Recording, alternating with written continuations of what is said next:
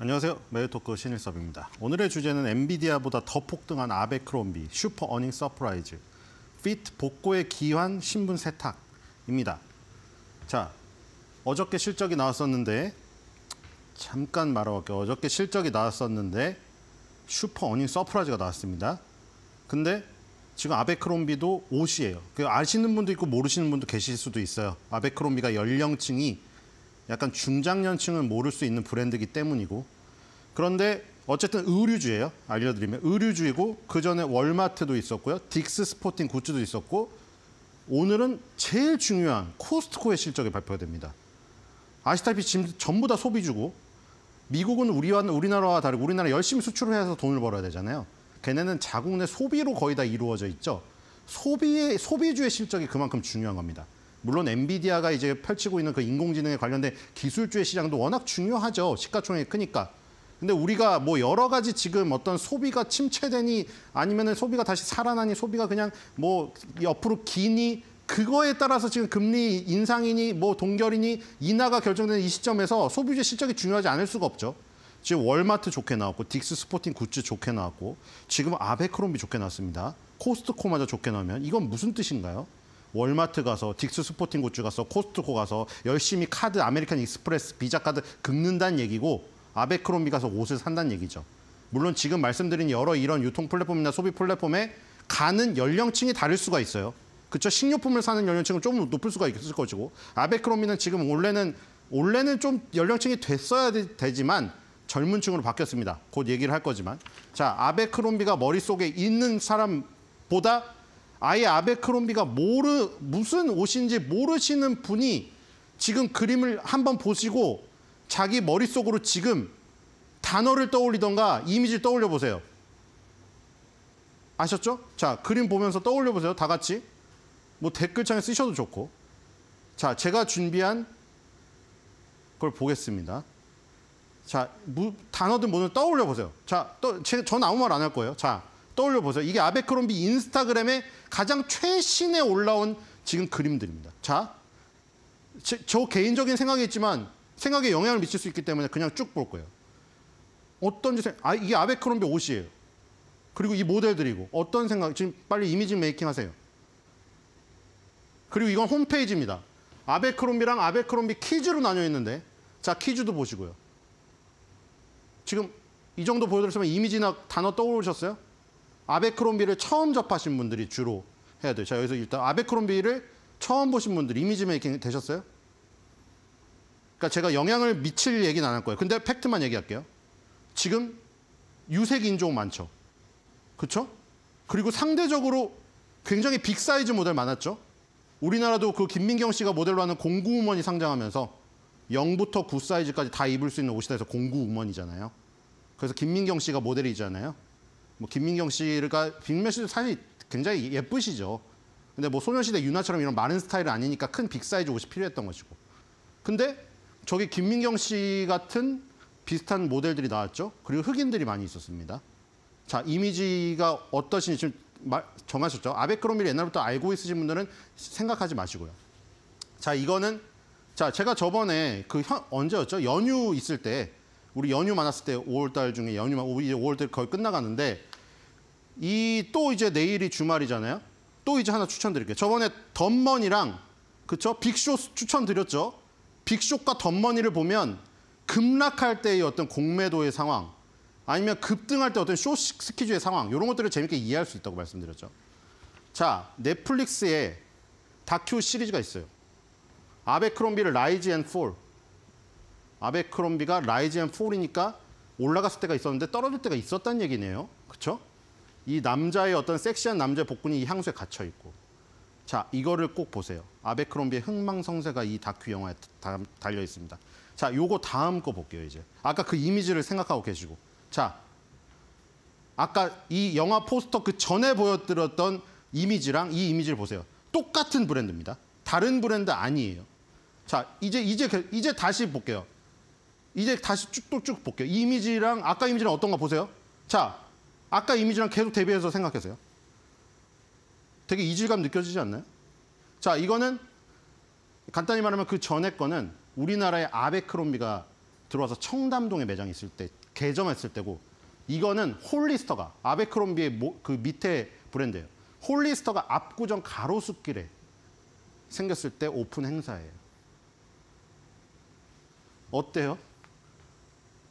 요 사진까지 있, 있나요? 어때요? 이, 이- 아까 전하고 이- 어떤 어떤가요 지금? 딱 딱 떠오르는 대비가 뭐예요 지금? 흑인, 백인 맞죠? 그건 확실하죠? 그 다음에 엄청 big size. 지- 근데 지금은 big size는 여기 낄 수조차 없어요. 그렇죠? 복근이 이 정도 되고 다 거의 뭐 우리나라 윤성빈 선수 아이언맨 수준 안 되면 못 껴요 여기. 그렇죠? 자, 이게 저 중간에 아까 다큐 영화를 넣었던 이유가 있습니다. 이게 바로 rise 할 때, 그리고 다시 fall을 할 때, 그리고 최근의 변화. 그래서 earning surprise가 나왔는데, 자, 네, 요거 또 나오죠. 그래서 earning surprise가 나왔는데, 이제 뒤로 넘어가죠. 자, 이미 이제 이미지의 대비는 굉장히 강하게 강하게 된 것 같아요. 또 중요한 건 이제 CEO. CEO가 옛날에 이 사람이었는데 지금은 해고됐어요. 이 사람 흑인인가요? 백인인가요? 백인. 정말 아주 집요할 정도의 백인 우월주의. 그리고 아까 우리나라의 공구우먼 얘기도 했지만 절대 빅사. 왜 우리가 모든 사람한테 만족할 옷을 팔아야 돼? 우리는 핫가이 핫걸들을 위한 옷만 팔면 돼. 왜 우- 너가 뭔데 뭐라고 하는데 아마서 뚱뚱한 사람들을 무시하고 유색 인종을 차별화하는 발언을 엄청 하고 성추문해 결국에 해고가 됐습니다. 근데 뭐 우리나라 뭐 그, 그런 그렇게 비난하는 사람도 많이 있죠. 우리나라 홀리스터랑 저 저도 사실 뭐 할 말은 없는데 홀리스터 옷을 한 몇 벌을 사왔기 때문에 근데 갔는데 항상 거기 들어가면 향수는 지금 지금 다 없어졌어요. 그렇죠? 근데 그 비싼 옷은 아니거든요. 비싼 옷은 아닌데 그러니까 뭐 그게 뭐- 뭐가 문제냐면은 우리나라 사람들은 어떤 외국 브랜드가 들어왔을 때 뭔가 열광을 하고 저런 행사가 행사를 하면은 뭔가 저- 그때는 SNS가 발달이 덜 되어 있었지만 어쨌든 간에 뽐내고 이런 거를 좋아해요. 그래서 우리나라에서 들어 우리나라에 들어온 다음에 엄청 비싸게 판 거죠. 그러니까 원래 비싸진 않은데 우리나라 사람들에게 차별화해서 비싸게 판 거죠. 근데 우리나라 사람은 좋다고 사니까 인터넷 네티즌 분들은 그걸 또 비난하시는 분도 계세요. 근데 어쨌든 이분이 그런 심리들을 이용해 가지고 우리나라는 유색인종 제 백인이 아니잖아요. 근데 우리나라는 그런 심리가 있기 때문에 청담동이나 압구정동이 딱 박은 거죠. 그래서 처음에 되게 잘 됐어요. 매장에 들어가면 되게 향수 냄새 나고요. 되게 조명이 되게 어두컴컴해요. 그 막 되게 그 저기 막 배꼽티 입으신 분들만 다 돌아다니고 있어요. 그런데 그렇게 잘 되다가 갑자기 몰락을 하고 완전히 시장에서 잊혀졌는데 이 주식이 지금 엔비디아보다 많이 올랐습니다. 경악할 일이죠, 지금. 그 어쨌든 이 사람은 너무 막말을 하다가 결국 철퇴를 맞았고요. 이제 변했습니다. 그 CEO가 바뀐 것도 어떤 한몫을 했겠죠.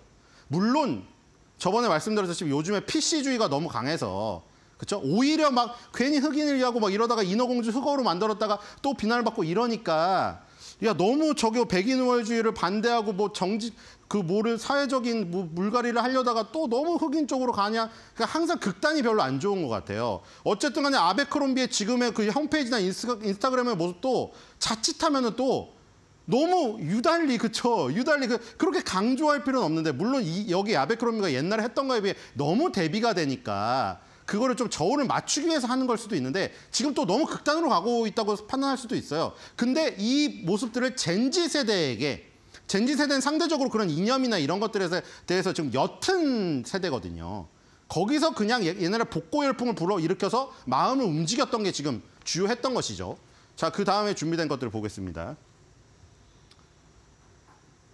자, 그래서 이런 뉴스가 나오고 있어요. 외국 뉴스인데 블룸버그 90년대 패션이 돌아오고 있다. 아베, 아베크롬비를 통해서 90년대 패션이 복귀하고 있다. 이 얘기거든요. 다음 뉴스도 있습니다. 그 90년대 패션이 복귀한 것이 뭐 구글 번역 돌려보시면 돼요. 아주 무슨 뭐 초반 단계 약, 아, 그러니까 약간 그냥 잠깐 올라갔다 마는 그게 아니고 지금 이제 본격적으로 어떤 변화하는 흐름의 초반부다. 이렇게 또 평가를 하고 있더라고요. 아베크롬비의 어떤 변화에 대해서 제가 아까 조금 걱정이 되는 뭐 완전 뭐 또 PCG 쪽으로 막 가버리는 거 아닌가 그런 거보다는 오히려 지금 Gen Z 세대들에게 먹혀가지고 다시 부활을 할 수 있다는 그러니까 아까 전에 여- 다큐 영화가 fall에서 끝났는데 다시 한번 rise, re-rise 될 수 있는 어떤 지금 단초가 지금 생기고 있다. 이렇게 언론의 뉴스들은 나오고 있고요. 다음에 보겠습니다. 자, 그래서 이 지금 요정재형이라고 정재형 씨가 하는 프로그램 있잖아요. 지금 한 달 좀 안 됐나요? 임수정 씨가 출연했거든요. 왜 이- 저도 이, 요- 이 재영 이 채널 왜 보냐면은 TV에 잘 안 나오시는 옛날 보고 싶은 핫스타분들이 여기 나오세요. 그래서 임수정 씨가 나오는데 지금 곧 50이시거든요. 얼굴이 20대. 솔직히 맞죠? 왜 안 늙는 거예요? 어쨌든 미사페인 얘기가 나오고 어그부츠가 나왔습니다. 자, 이 얘기를 왜 하느냐? 아베크롬이랑 연관되어 있어. 아까 뉴스 제목이 90년대 패션이 복귀했다고 했잖아요. 이 미사페인 때 이 무지개 옷이라 이 니트라 어그부츠 불티나게 팔렸잖아요. 어그부츠를 만드는 회사 데커 아웃도어 그다음에 아베크롬비 홀리스터를 갖고 있는 아베크롬비 지금 주가 날라가고 있죠. 그러니까 그것들이 다 뭐죠? 90년대에 어떤 향수를 지니고 있는 그 분들이 입는 게 아니라 아버지 어머니 세대가 그걸 입었던 아들 딸들이 Gen Z 세대들이 그 어떤 향수를 오히려 향수가 아니고 힙하게 여긴다는 거죠. 힙하게. 힙하게 여기는 아이러니한 상황과 맞물려 가지고 이게 폭발한 거죠. 그러니까 지금 데커 아웃도어 어그부츠를 갖고 있는 데커 아웃도어랑 물론 나이키를 제치고 호카가 런닝화로 떠오르는 그 부분도 있지만 데커 아웃도어의 주력이 어그부츠예요. 그게 어떻게 변했느냐? 자, Gen Z 세대들 이 향수를 갖고 있지 않다고 했죠. Gen Z 세대들 이때 태어나지 않았어요. 그- 그 다음에 이게 어떻게 변형됐나? 데커 아웃도어가 왜 그렇게 신고가 가는가? 자, 지금 하이디 클룸이라고 독일 모델이죠. 독일 모델이 이렇게 신고 있는 모습. 자, 이거는 보면은 옛날에 임수정 씨가 했던 것보다 약간 짜, 짧아졌죠, 여기가 짧아졌죠. 자, 근데 이 짧아진 거에서 아예 더 뒤가 없어집니다, 이제. 보세요. 요즘에 로제가 신는 건 어떤가 봐요. 로제. 로제가 신는 건 이거예요. 뒤가 없어졌어요. 그렇죠? 이렇게 편한 슬리퍼. 이게 코로나 때 집에서 신는 걸로 크록스랑 이게 굉장히 떴다가 크록스는 코로나 엔데믹이 되고 나서 주가가 빠졌는데 얘는 오히려 그냥 더 갔어요. 크록스는 생긴 게 못생겼잖아요. 어그부츠도 못생겼지만 어그부츠는 이런 패션 아이템이 돼버린 거예요. 그러니까 젊은 층에게 어필이 돼버린 거예요, 지금. 임수정 씨랑 로제의 나이 차이가 한 세대가 나거든요. 근데 이런 식으로 힙한 게 돼버린 거죠. 아베크롬비 홀리스터도 그렇고 이 어그부츠도 새롭게 디자인을 변형하거나 어떤 컨셉을 변형하거나 해가지고 Gen Z 세대들은 어떤 옛날의 이념이라든가 옛날의 그런 상황들을 다 모르는 상황에서 어 굉장히 옛날 아이템인데 뭔가 요즘에 거와는 다르니까 힙한 게 돼버린 거예요. 올드한 게 힙한 게 돼버린 거예요 지금. 그런 대표적인 것들이 어그부츠의 데커 아웃도어랑 아베크롬비 홀리스터 아베크롬비입니다. 지금 이런 식의 흐름들이 주가에 좋은 상황으로 작용했다 이렇게 보시면 될 것 같고요. 자, 빨리 넘어가도록 하겠습니다. 자, 그래서 뉴진스의 Ditto에 이게 나오죠. 이게 반희수라는 가상의 인물이, 인물이죠. 유진스의 팬클럽 이름이 바니지잖아요. 그거를 이제 이름을 재밌게 해서 반희수라는 여자아이를 만들어서 이 디토 뮤직비디오에서 따라다니면 찍어요. 근데 그 캠코더로 찍죠. 90년대 싸이월드 감성. 근데 이거를 10대들은 어떻게 받아들여요? 야, 이런 문물이 있- 있었어? 아빠 사진첩에서만 보던 이런 것들이? 이걸 오히려 힙하게 생각해서 이게 막 20만 원짜리를 막 사고 있어요, 지금. 그러니까 지금 이런 상황이 젠지 세대들이 3, 40대 엄마 아빠가 될 때까지 이어질 거라는 거죠. 그러니까 이런 그 기업들은 복고바람이 분 기업들은 앞날이 밝은 거죠. 향후 10년이. 실적을 보겠습니다. 매출액, 매출액 어닝 서프라이즈가 나왔는데 수준 자체가 엄청나게 나왔어요. 지금 5.52% 어닝 서프라이즈 허들을 넘었습니다. 자, 주당 순이익은 더 엄청납니다. 주당 순이익을 보세요. 아예 이게 눈사람 모양이 됐네요. 무려 시장 예상치에 대비 21.29% 어닝 서프라이즈 엄청난 어닝 서프라이즈가 나왔어요. 그리고 다음 그림을 보시면 이게 어느 정도냐면은 아까 주당 순이익이 3.08인가요? 지금 2023년 초만 해도 주당 순이익이 0.8 수준이었습니다. 3배 이상이 늘었어요. 작년 전- 작년 1분기 대비 올해 1분기가 3배 이상이 늘었어요. 순이익이. 지금 어마어마한 상, 성장세가 나왔습니다. 자, 그래서 주가가 급등한 것이고. 그 지금 목표 주가가 넘어버렸죠. average가 157.63인데 지금 186달러니까 어제 오늘 5% 정도 떨어졌는데 아직도 높아요. 그래서 목표 주가가 오히려 downside에 있고요. high는 215까지 나와 있습니다. 자, 목표 주가에 의해서 투자 의견은 moderate buy고요. 숫자가 많진 않죠. 자, 그 다음으로 넘어가겠습니다. 자, 이거는 빅토리아 시크릿의 차트입니다. 그러니까 예로 보여드리려고요. 빅토리아 시크릿은 똑같아요. 아까 그 CEO랑 이 CEO랑 똑같습니다. 여성을 속박하고 여성의 몸매를 강조하고 성상품화라는 아무 변화를 안 하니까 주가가 곤두박질을 치고 있어요. 빅토리아 시크릿은 헤어나오질 못하고 있어요. 아베크롬비는 반대로 날아갔죠. 결정적인 차이점이 있었던 거고요. 그다음에 데커 아웃도어 어마어마합니다. 지금 이게 1000달러가 넘었어요. 한 주에 1080달러예요. 지금 어그부츠만 대사가 어그부츠가 옛날 임수정 씨 신던 건데 지금 완전히 Gen Z 세대한테 먹혀갖고 힙한 아이템이 됐습니다. 자 이제 아베크롬비로 가겠습니다. 아베크롬비 엄청난 장대 양봉이 나왔습니다. 어닝 서프라이즈가 나와서 어제도 살짝 조정을 했기 때문에 강한 양봉 다음에 조정폭이 상당히 적어요. 추가 상승의 가능성이 상당히 높아 보입니다. 이게 삼각쐐기형이라고 하죠. 한동안 급등했다가 삼각쐐기형이 굉장히 한 3, 4개월이 있었습니다. 삼각쐐기형을 돌파하자 날아가는 모습이고요. 자, 주봉, 월봉을 봅시다. 정말 놀랍습니다. 엄청난 상승세. 2차 상승을 하고 있는데 더 길어지고 있죠. 자, 월봉도 보겠습니다. 예. 2023년, 2023년 상승률 나오죠. 지금 2년 상승률 합하면 엔비디아보다 앞서고 있어요.